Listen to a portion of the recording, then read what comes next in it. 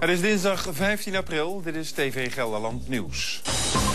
Ze kunnen er zelf elk moment uitgezet worden. Maar de krakers van het oude postkantoor in Nijmegen... die hielden vandaag toch open huis voor belangstellenden. Burgemeesters die hun dienstauto gebruiken om naar bijbanen te rijden... die moeten daar belasting over betalen. Nijmegen betaalt de rekening van 65.000 euro voor oud-burgemeester Ter Horst. Is boerengolf een beschermde merknaam of mag iedereen het woord gebruiken? Niemand weet het en dus moet de rechter het maar zeggen.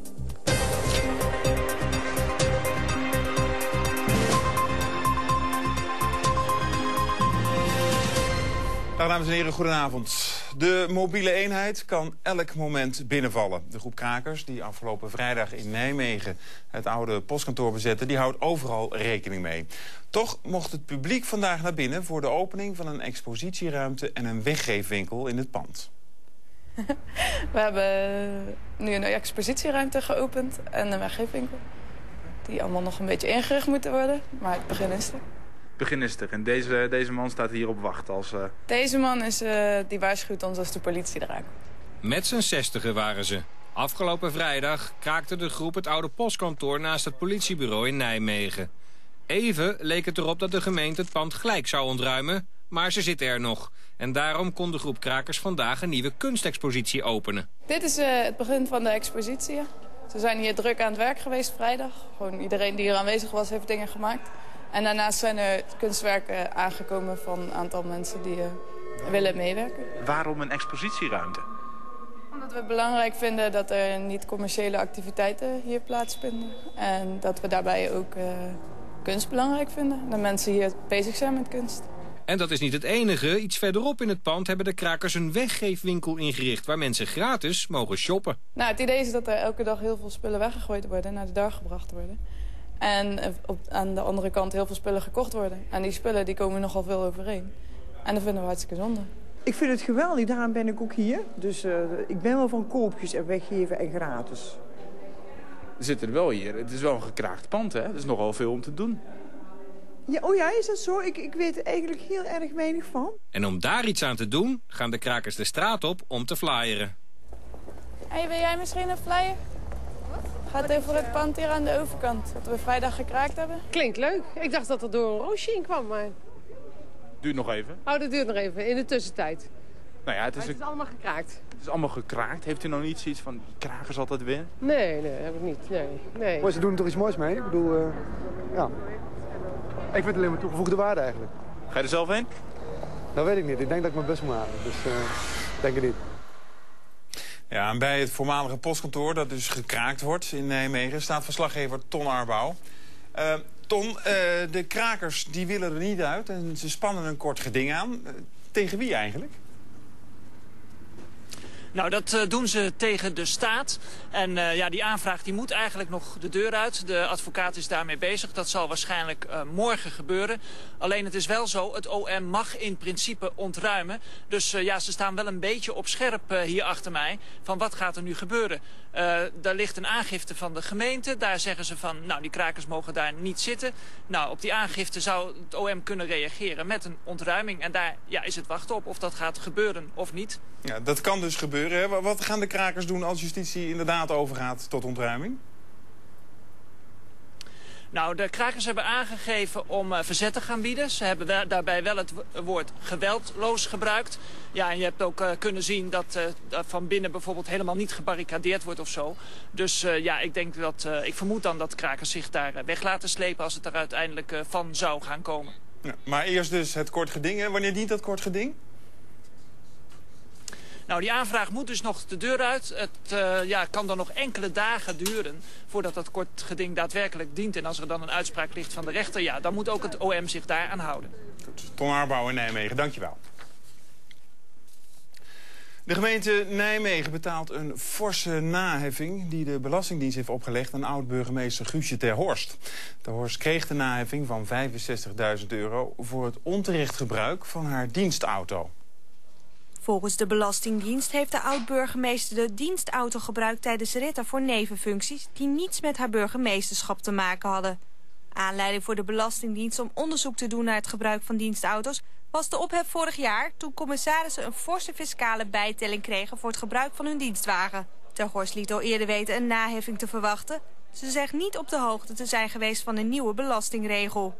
Het stadsbestuur van Nijmegen heeft besloten de naheffing van 65.000 euro op zich te nemen, omdat de regel niet bekend was. De huidige burgemeester Tom de Graaf moet de ritten straks wel zelf betalen. Theo Jansen speelt volgend seizoen voor FC Twente. De 26-jarige middenvelder van Vitesse tekent vanavond een vierjarig contract in Enschede. Jansen is bezig aan zijn elfde seizoen bij Vitesse. De Arnhemmer debuteerde op 9 december 1998 in het eerste... als invaller van Martin Zeeman, vlak voor tijd. Sindsdien is hij uitgegroeid tot clubicoon en publiekslieveling. In het seizoen 2003-2004 speelde Jansen op huurbasis een half jaar voor Racing Genk. Hij speelde afgelopen weekend als gelegenheidslinksback tegen NEC. Jansen stond eerder in de belangstelling van FC Groningen... en toen gaf hij al aan toe te zijn aan een nieuwe uitdaging. Mountainbiken als je blind bent, zonder hulp. Het lijkt onmogelijk, maar met echolokalisatie kan het. Een methode waarbij geluid wordt gebruikt om objecten waar te nemen. Organisatie voor blinden en slechtziende Sensis uit Nijmegen... heeft een uniek trainingsprogramma voor deze methode ontwikkeld. Coming up to a change in the wall right here. So it looks like there's uh, the wall becomes shorter. I cannot tell really what's on the other side, other than that there's a, an overhang and sort of an alcove area in there. Hij kan het verschil horen tussen een lantaarnpaal en een boom. De blinde Daniel is dé expert op het gebied van echolokalisatie. De Amerikaan neemt objecten waar door de reflectie van geluid. Dit doet hij door het klakken met zijn tong. Now we're passing a, a car, a vehicle on the left, and two cars. De kennis van Daniel is door Census omgezet in een trainingsprogramma. Zo kunnen alle blinden en slechtzienden toegang krijgen tot deze methode. Als je alles met je stok moet uh, zeg maar detecteren, dus met je stok langs een, een, muur moet gaan. Nou, iedere regenpijp die je tegenkomt, moet je toch je stok weer terugtrekken. Voelen, kan ik daar omheen? Uh, als je met je stok in principe niets aanraakt... Uh, maar gewoon alleen maar jezelf beveiligt door voor je uit te tikken... dan dan kun je gewoon veel sneller lopen. Wij hebben eerst een uh, proef gehouden. Dat we, dat we kunnen kijken zo van, nou, hoe zit het ongeveer in elkaar... en welke niveaus kun je de cliënten aanbieden. En um, het is de bedoeling dat Census op een gegeven moment gaat kijken in de komende dagen... dat, uh, dat we hoe, die, hoe we die methode kunnen verbeteren en verfijnen. Want hij is nog niet helemaal klaar. In de natuur komt echolokalisatie ook voor. Vleermuizen zijn het bekendste voorbeeld... Zij gebruiken ook een sonar om zich voor te bewegen. Maar alleen gebruik maken van echolokalisatie, dat gaat voor veel blinden toch net iets te ver. Het is een aanvulling op, uh, op het gebruik van je stok. Uh, het, het versnelt. Hier is ook weer een, uh, een steegje.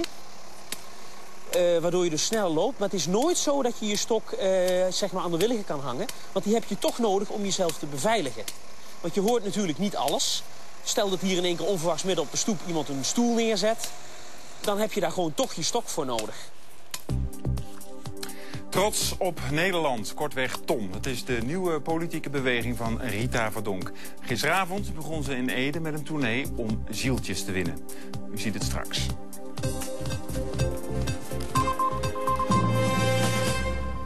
De 58-jarige man die vervalste werken verkocht van de Arnhemse kunstenaar Klaas Gubbels... is veroordeeld tot een jaar cel, waarvan de helft voorwaardelijk. Ook moet hij een schadevergoeding betalen van bijna 80.000 euro... aan de mensen die die een vervalsing verkocht. Het is overigens nog niet duidelijk wie het vervalste werk heeft gemaakt. Het tekort aan studentenkamers in Nijmegen zal de komende jaren veel hoger uitvallen dan gedacht.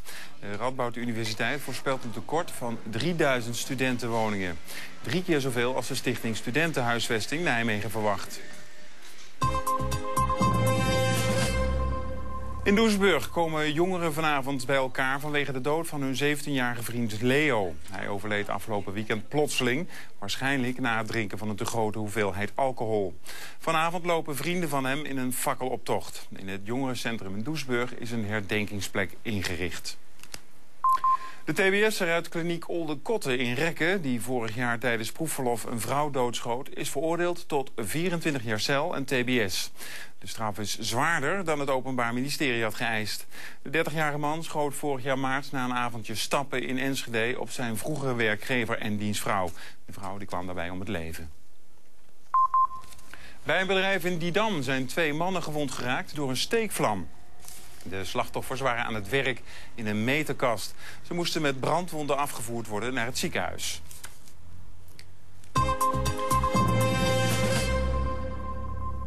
De gemeente Apeldoorn wil vijf windturbines van 150 meter plaatsen op bedrijventerrein Ecofactorij. Het is de bedoeling dat de turbines 8000 huishoudens van stroom voorzien. Voor de plaatsing van de windmolens moet nog wel het bestemmingsplan worden aangepast. Winkeliers in Harderwijk worden geteisterd door een golf van ramkraken. Afgelopen nacht was het voor de vijfde keer dit jaar raak. Dieven ramden de pui van deze kledingzaak. Ze wisten te ontkomen met enkele leren jassen. De politie vermoedt dat het gaat om een bende uit het westen van het land. De politie heeft vijf jongeren uit Tiel aangehouden. Die worden verdacht van tientallen inbraken.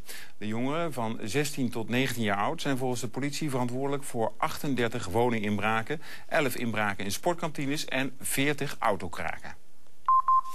De gemeente Tiel geeft 25.000 euro voor de organisatie van Roze Zaterdag. Roze Zaterdag is een landelijk evenement voor homoseksuelen dat dit jaar in Tiel wordt gehouden. Er worden 50.000 bezoekers verwacht op 28 juni.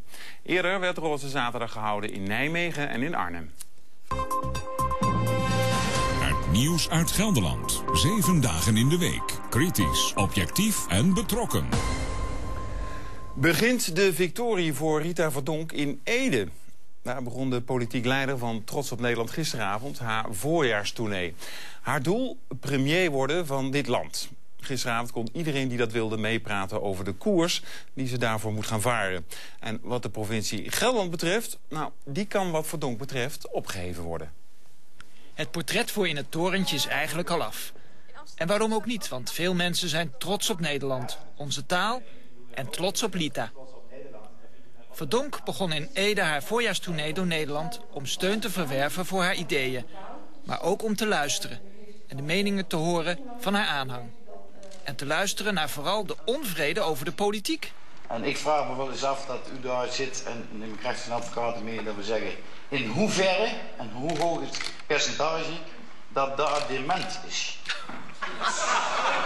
Zo. Nou, dat percentage is heel laag, kan ik zeggen. Voor veel aanwezigen was het nog even wennen. Rita heeft nog niet over alles een standpunt. Daar mag u immers via haar website over meepraten.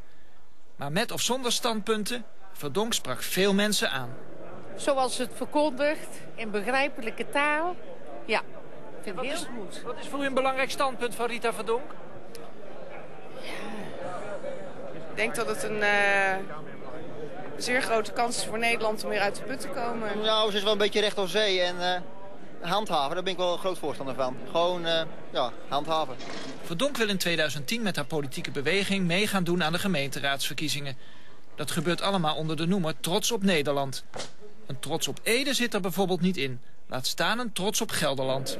Nee, want eh, wat ik eh, wil is eh, ja, de provincies opheffen of in ieder geval terugbrengen tot een kerntaak. Hè. Dus kijk, ik snap best wel dat, dat de provincie symbolische waarde heeft voor mensen. Hè, maar dat kunnen we ook met een heel klein groepje mensen kan dat behartigd worden. En niet zoals nu met zo'n heel ambtenarenapparaat, heel veel bestuurders. Dus dat is waar ik graag vanaf wil. Rita Verdonk op tournee. Misschien binnenkort bij u in een theater. De Algemene Inspectiedienst heeft een schapenhouder in de gemeente Westmaas en Waal bekeurd wegens verwaarlozing van zijn dieren. De man heeft ongeveer 1300 schapen. De dieren hadden onder meer last van ernstige schurft. En ook lagen er op het erf vijf kadavers van ooien en vond de AID in twee tonnen dode lammeren. Vijf schapen moesten uit hun lijden worden verlost. Is boerengolf een merknaam? Over die vraag boog de rechter zich vandaag in een kort geding. Peter Wenink uit Lievelde die claimde de naam in 2005. Maar dezelfde naam die wordt ook gebruikt door Ton Groters uit Eibergen. De rechter liet doorschemeren dat alleen Wenink de naam mag gebruiken. Boerengolf is een spel waarbij in zo min mogelijk slagen 10 holes moeten worden afgelegd.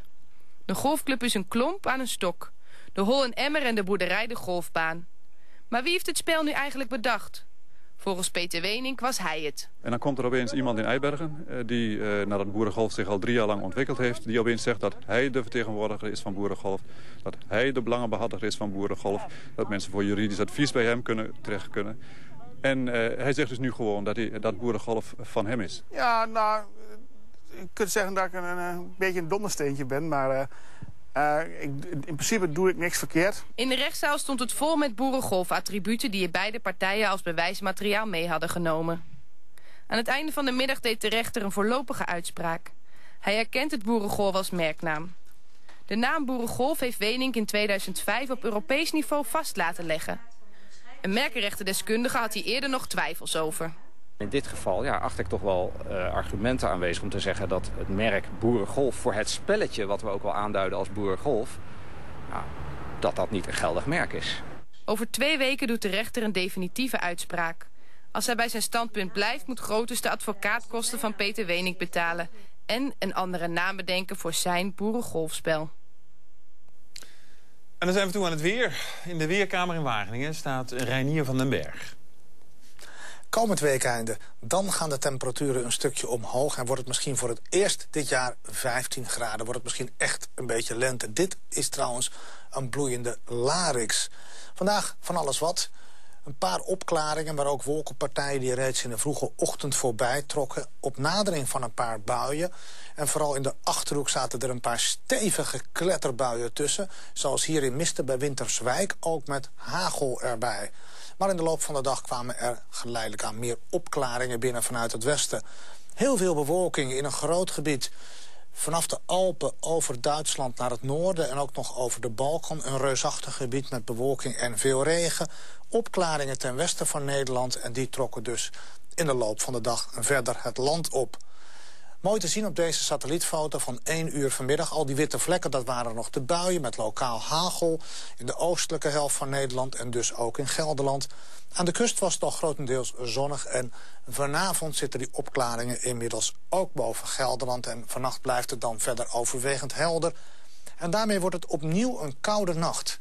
Bij weinig wind kan de temperatuur vrijwel overal dalen tot iets onder het vriespunt. Lokaal tot min 2 à min 3 aan toe. En ook in de Betuwe kan de temperatuur plaatselijk dalen tot iets onder het vriespunt. Dus voor veel fruittelers wordt het misschien toch wel weer een wat slapeloze nacht. Want dan moeten de bloesems goed in de gaten worden gehouden. Het vruchtbeginsel dat dan misschien door beregenen beschermd moet worden tegen de lage temperaturen. Morgen redelijk veel blauw aan de lucht. Wat kleine, onschuldige stapelwolkjes zullen er her en der ontstaan. Wellicht dat ze wat meer naar het westen van de provincie lokaal wat groter kunnen worden... en ergens toch een beetje regen loslaten. Maar op heel veel plaatsen blijft het morgen toch wel overwegend droog... met geregeld een mooi aprilzonnetje dat doorbreekt. De meeste zon over het oosten van Gelderland. Vooral het westen en ook hier de Veluwe zijn gevoelig voor een enkele lokale bui... bij temperaturen van 10 tot 11 graden en een zwakke tot matige noord- tot noordoostenwind. En na morgen dan gaan die temperaturen dus geleidelijk omhoog... maar het wordt er niet veel mooier op qua weertype... Donderdag een lokale bui. Vrijdag en zaterdag af en toe regen en weinig zon. Maar verder oplopende temperaturen. Zondag wordt het misschien zelfs wel 17 graden. Wellicht zelfs met een knipoog van de zon erbij. Ambulances komen op veel plaatsen nog altijd niet op tijd. Hoe krijgen we het voor elkaar dat de aanrijdtijden van ambulances korter worden? Daarover debatteren provinciale politici en inwoners van Gelderland morgen in Ochten. En in Nijmegen gaan studenten medicijnen hun vaardigheden oefenen op pubers. U ziet het morgen in TV Gelderland Nieuws. Ik wens u nog een fijne avond.